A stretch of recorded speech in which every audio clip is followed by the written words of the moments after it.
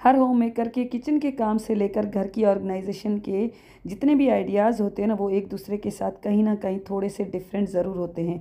तो जब हम ये आइडियाज़ एक दूसरे के साथ शेयर करते हैं तो हमें बहुत सारी ऐसी बातें सीखने को मिलती हैं। तो मैं भी आपके साथ आज कुछ ऐसी किचन की एंड घर की टिप्स एंड ट्रिक शेयर करूँगी, जिसको देख के आपको बहुत ज़्यादा हो जाएगी हेल्प। तो चलिए जी, हम स्टार्ट करते हैं अपना video. Hello friends, welcome back to my channel. Video अगर आपको पसंद आ जाए तो इसको लाइक कीजिएगा, शेयर करके अपने दोस्तों को भी इसका फ़ायदा दीजिएगा। इस तरह के जो सीरियल के बॉक्सेस होते हैं ना, ये बड़े काम के होते हैं। इनको आप डिस्कार्ड करने से पहले ये वाली टिप को ज़रूर देखिएगा। देखें, कुछ इस तरह से मैंने इसको कट कर लिया है।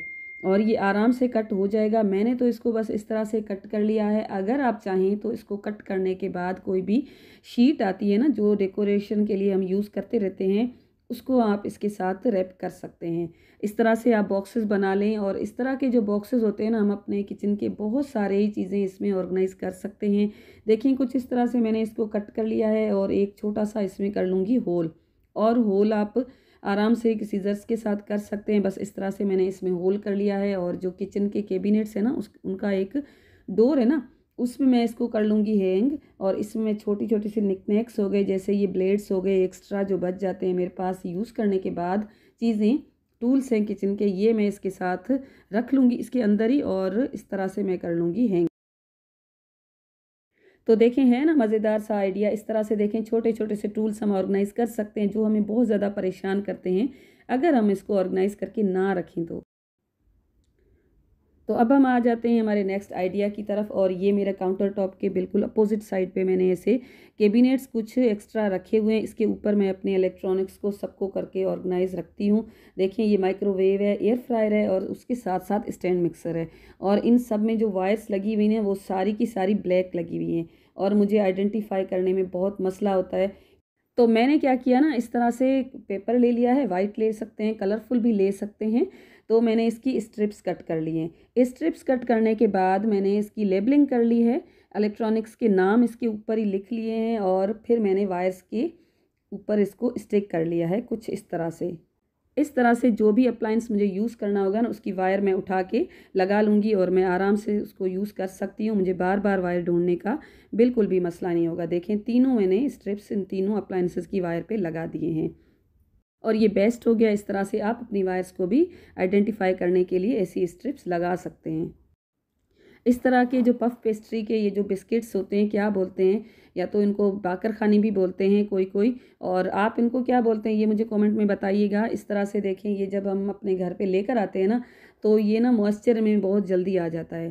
थोड़ी सी देर अगर बाहर रखो ना तो ये बिल्कुल नरम हो जाते हैं। तो उसके लिए बेस्ट ये है कि आप जब भी इनको लेकर आए ना तो इनकी पैकिंग से निकाल एयर टाइट एक जार ले सकते हैं आप। अगर आपके पास एयर टाइट जार नहीं है ना तो इस तरह से कोई भी आप जार ले सकते हैं, उसके अंदर टिश्यू पेपर रख लें, जो किचन रोल आता है वो।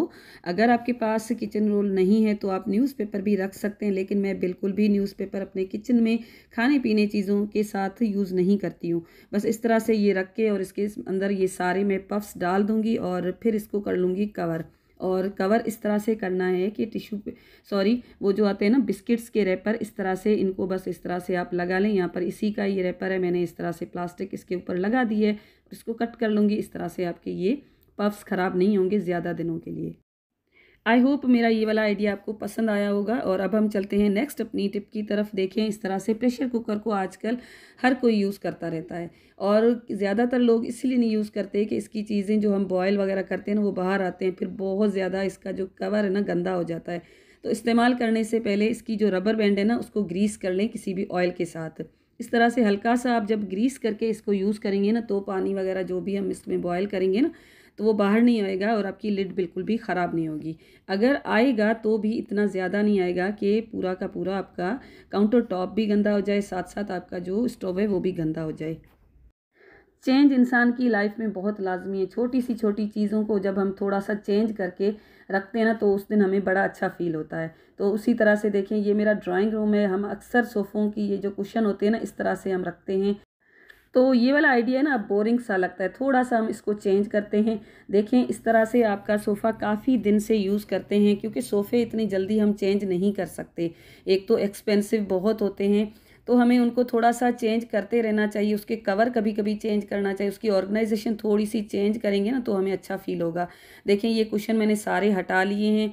आपके पास जो भी आप शॉल घर पे पड़ी हुई या तो कोई भी दुपट्टा जो दिखने में थोड़ा सा आपको अच्छा लग रहा है आपके ड्राइंग रूम के कलर के साथ उसका कलर थोड़ा सा मैच हो रहा है तो बस आप उसके ऊपर इस तरह से इसको फैला लें। देखें बस इस तरह से ये मैंने अपनी एक शॉल है विंटर्स हैं तो शॉल बाहर पड़ी थी, वो मैं इस पर बिछा लूँगी और सर्दियाँ भी है तो बच्चे भी बैठते हैं ना तो भी इसको गंदा बिल्कुल भी नहीं करेंगे। देखें, इस तरह से ये बिछा लेंगे और कुशन को हम इस तरह से कर लेंगे सेट और जो कुशन की सेटिंग है ना, उसको भी चेंज करते रहना चाहिए। आज मैंने देखें, इस तरह से इनको सेट किया है तो ड्राइंग रूम की लुक ही चेंज हो गई है सोफ़े की। ये देखें, इस तरह से आप ट्राई करके ज़रूर देखिएगा, आपको अच्छा फील होगा।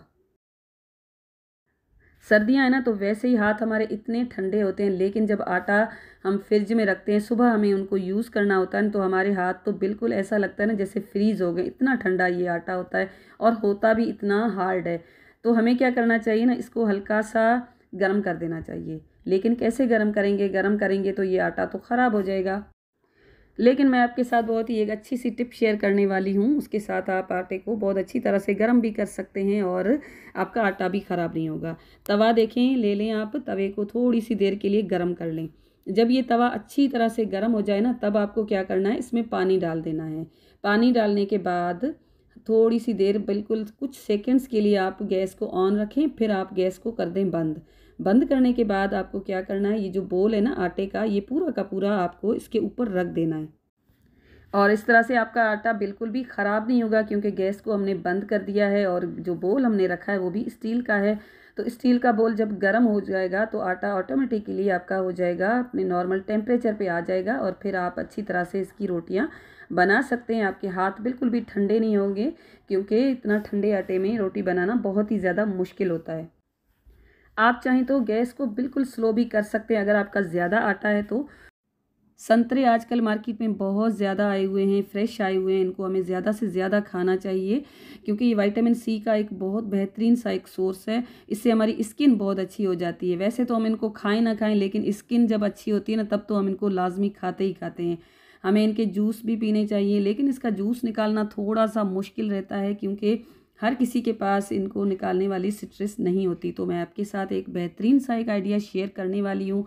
बस इस तरह से आप अपने संतरे को कट करके दो हिस्सों में कट कर लें। पहले तो इसको कर लें पील तो बस एक बॉल ले लें, उसमें एक आप स्ट्रेनर रख लें। कोई भी स्ट्रेनर रख सकते हैं, बड़ी हो, छोटी हो, कोई भी रख के इस तरह से आप अपना जो संतरा आपने कट किया है, उसके ऊपर रख लें और किसी भी चीज़ के साथ इसको कर लें प्रेस और यहाँ पर मैंने एक स्टील का छोटा सा बोल ले लिया है। स्टील का बोल लेंगे तो बेस्ट है क्योंकि हमें अपने खाने पीने में जितनी प्लास्टिक को कम कर सकते हैं ना, उतना ही करना चाहिए। बस इस तरह से देखें, स्टील के बोल के साथ मैं इसको प्रेस कर लूँगी और इसका जितना भी जूस होगा ना, वो आराम से निकल आएगा और आप इसको इंजॉय कर सकते हैं जब चाहें।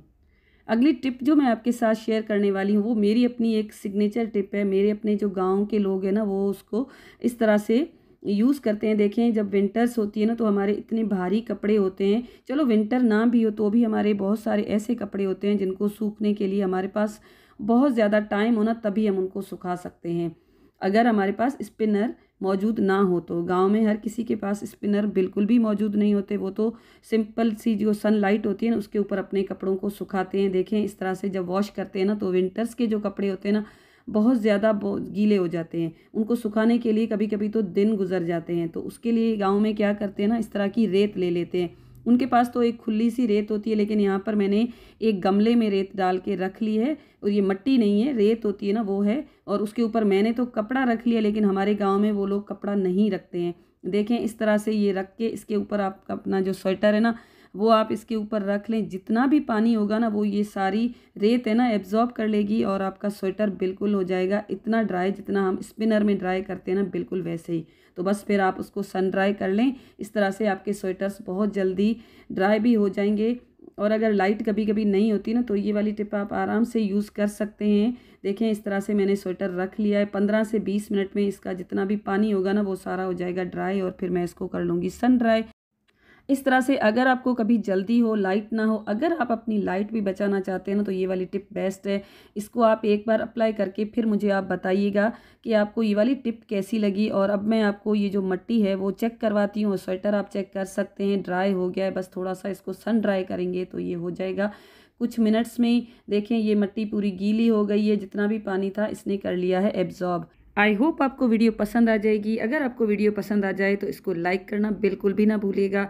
अपने फैमिली एंड फ्रेंड्स के साथ शेयर कीजिएगा ताकि उनको भी मेरी वीडियो का फ़ायदा हो सके। इस चैनल पे नए हैं तो सब्सक्राइब करके बेल के आइकन को हिट लाजमी कर लीजिएगा। मिलती हूँ आपके साथ एक और न्यू वीडियो में। अपना बहुत ज़्यादा ख्याल रखिएगा। Thanks for watching take care and bye